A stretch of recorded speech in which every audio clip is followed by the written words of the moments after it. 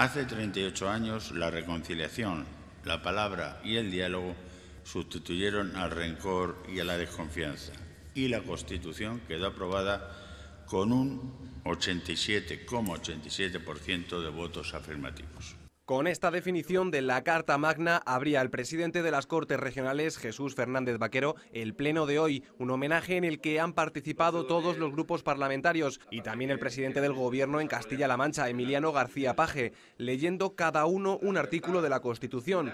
Un pleno donde además se ha tratado otros temas como la resolución que las Cortes va a presentar al Ministerio de Fomento para que renueve las concesiones caducadas del transporte público por carretera, denominadas líneas BAC. Pedimos desde esta, tribuna al reciente nombrado ministro de Fomento que en las siguientes licitaciones de concursos de gestión de las líneas estatales tenga desde luego en cuenta las necesidades de movilidad de nuestros ciudadanos. Una resolución que para el Partido Popular discrimina otros problemas de transporte que hay en la región cuando está discriminando a los ciudadanos de Guadalajara y de su provincia, porque al final lo que quieren son obras. Usted podía poner un autobús para ir a la universidad, al centro de Guadalajara. Usted podía poner un autobús para ir al hospital de Guadalajara, al nuevo, y arreglar el viejo. Por su parte, el grupo Podemos ha votado a favor de esta resolución, pero se mostraba desconfiado en que se obtengan resultados.